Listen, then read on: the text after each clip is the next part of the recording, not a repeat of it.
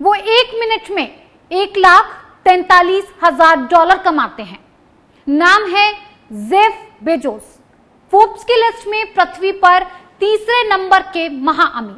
उनकी कमाई का ज़रिया है एमेजन यानी वो प्लेटफॉर्म जो ना कुछ बनाता है, ना कोई फैक्ट्री है और ना कोई स्टोर। लेकिन बेचता सब कुछ है और इसी में दौलत इतनी बरसी कि बन गए पृथ्वी के महा अमीर मनी मशीन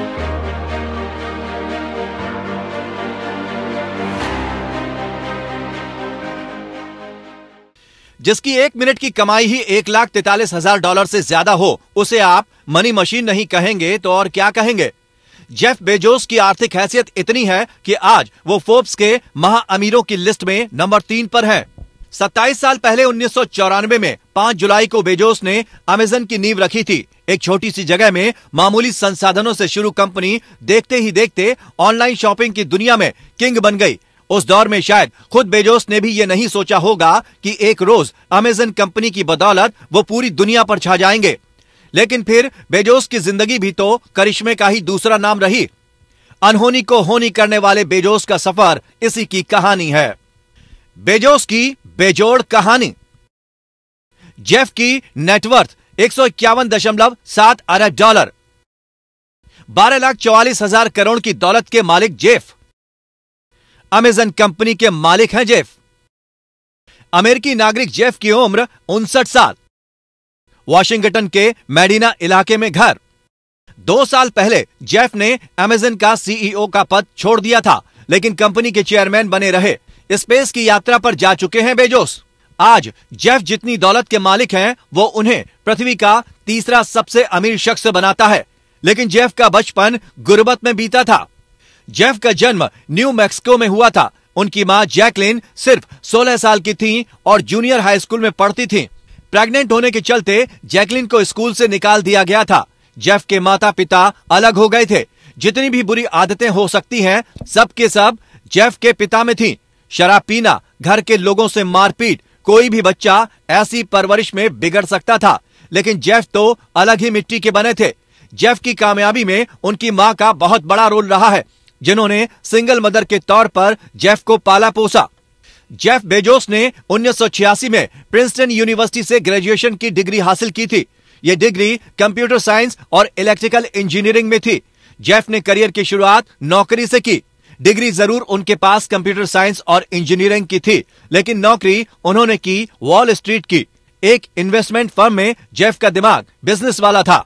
उन्हें बेचना और मुनाफा कमाना आता था। जेफ जब हाई स्कूल में थे, तभी घर के खाली गैराज में अपने पहले बिज़नेस की शुरुआत कर दी थी। नाम रखा द ड्रीम इंस्टीट्यूट जेफ ने गर्मियों की छुट्टियों में अपने जैसे स्टूडेंट्स के लिए ही एक समर कैंप चलाया और 600 डॉलर कमा लिए। ये तो कमाल ही था। ज़ाहिर है, जेफ में इतनी प्रतिभा थी कि अपने ही स्कूल और क्लास के छात्रों को कुछ नया सिखाने के बहाने उनसे फ़ीस लेकर समर कैंप चला सकते थे और पैसा कमा सकते थे। जेफ के माता पिता भी ये देखकर हैरान थे कि हाई स्कूल के बच्चे में इतना दिमाग कहाँ से आया। ऐसी ही अक्लमंदी जेफ ने अमेजन की शुरुआत करते वक्त दिखाई अमेजन की शुरुआत घर के उसी छोटे से गैराज से हुई, जहाँ हाई स्कूल में जेफ ने पहला समर कैंप लगाया था। बेटे की प्रतिभा पर माँ जैकलिन और जेफ के सौतेले पिता ने हमेशा भरोसा किया। अमेजन शुरू करने के लिए जेफ के सौतेले पिता माइक जेफ तीन लाख डॉलर उधार देने को तैयार हो गए। जेफ ने ऑनलाइन बुक स्टोर खोलने की योजना बनाई। नाम रखा अमेजन सब सहारा अफ्रीका में एक नदी का नाम है अमेजन आइडिया यह था कि ये नदी बहकर सब देशों में जा रही है। अमेरिका से लेकर यूरोप और एशिया तक इसी नदी का विस्तार है। जाने कितने दोस्तों, परिचितों शुभ की मदद से अमेजन की टेस्टिंग होती रही और आखिरकार वो दिन आ ही गया। अमेजन से सवरी तकदीर। 5 जुलाई उन्नीस सौ चौरानवे को अमेजन की शुरुआत हुई। ऑनलाइन किताबें बिकती थी अमेजन से। महीने भर में अमेजन का बिज़नेस 40 देशों में फैला। तीन महीने बाद हर हफ़्ते पच्चीस हज़ार डॉलर की किताबें बिकने लगी। स्टार्टअप की ऐसी कामयाबी उस दौर में किसी सपने जैसा था।